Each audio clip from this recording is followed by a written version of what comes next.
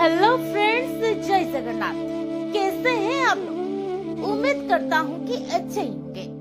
दोस्तों, इंडिया में बारह ज्योतिर्लिंग है, लेकिन ये ज्योतिर्लिंग क्या है? इन ज्योतिर्लिंग को भारतीय दर्शन करने क्यों आते हैं? तो चलो, आज के इन वीडियो पे सारे सवाल का जवाब निकालते ज्योतिर्लिंग ऐसा एक जगह है जहाँ पे भगवान शिव खुद आके रुके थे। ज्योति का मतलब उजाला और लिंग का मतलब संकेत। तो दोस्तों, ज्योतिर्लिंग का मतलब भगवान शिव जी के अलौकिक संकेत। गुजरात में स्थित सोमनाथ ज्योतिर्लिंग जो कि पहले ज्योतिर्लिंग में गिना जाता है, क्योंकि सोमनाथ ज्योतिर्लिंग लोगों के दिलों में सबसे पहले स्थान लिया है। सोमनाथ मंदिर को कई बार तोड़ा गया है और सत्रह बार सची किया गया है। परंतु 1947 को गुजरात के बेटा सरदार वल्लभ भाई पटेल सोमनाथ मंदिर को पुनः निर्माण का वादा किया। इसलिए मंदिर के पास सरदार वल्लभ भाई पटेल जी के एक प्रतिमूर्ति देखने के लिए भी मिलेगा।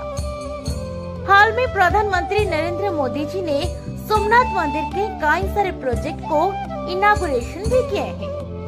सोमनाथ मंदिर के बदला के बारे में जानने से पहले चलो इस मंदिर के कुछ कहानी जानते हैं।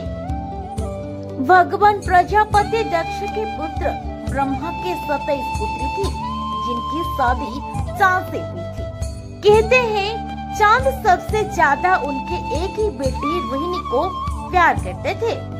जबकि प्रजापति दक्ष ने देखे कि चाँद उनके बाकी बेटियों को प्यार नहीं करते तो उनको बड़ा गुस्सा आया और ये श्राप दिया कि चाँद को जो इतना खूबसूरत पे गुरु है, वो नष्ट हो जाए। तो चाँद श्राप से बचने के लिए भगवान शिव जी के पास सोमनाथ आए थे।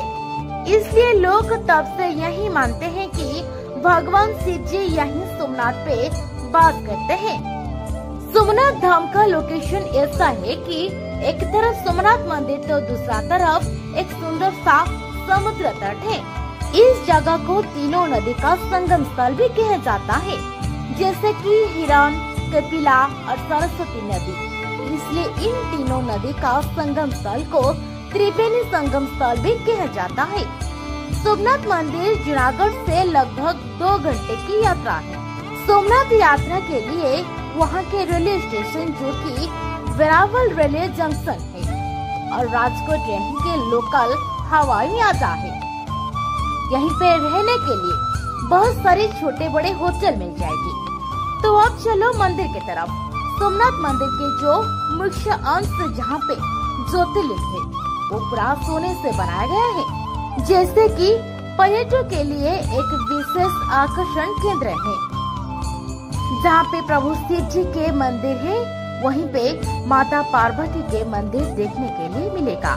परंतु माता पार्वती जी के मंदिर अभी बंद पड़ा है। लेकिन अभी जो नया पार्वती मंदिर बनाया जा रहा है, वो बिल्कुल समुद्र के किनारे पे ही देखने के लिए मिलेगा। सोमनाथ मंदिर पे एक बहुत ही बड़ा ऑडिटोरियम है, जहाँ पे शाम को आठ बजे से नौ बजे तक लाइट और साउंड के सहायता से सोमनाथ मंदिर का पूरा हिस्ट्री जान पाओगे और दिन में समुद्र तट का अनुभव ले सकते हैं। सोमनाथ मंदिर के आर्किटेक्ट ने मंदिर को ऐसा पुनः निर्माण किया है कि मानव मंदिर का सुंदरता कई गुना बढ़ गई है।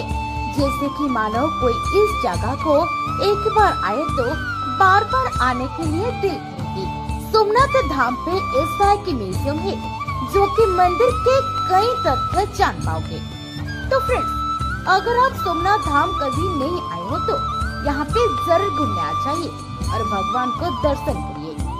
जैसे कि बुला जाता है, भक्ति में शक्ति है। तो फ्रेंड्स आज के ये सोमनाथ धाम मेरे साथ दर्शन करने के बाद आपको कैसा लगा, मुझे कमेंट्स करके ज़रूर बताना। और कमेंट पे हर महादेव लिखना मत भूलना।